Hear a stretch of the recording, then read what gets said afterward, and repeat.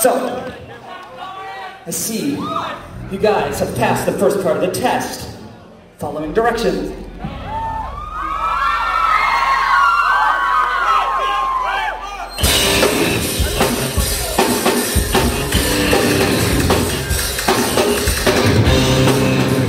So now I need you all to start one.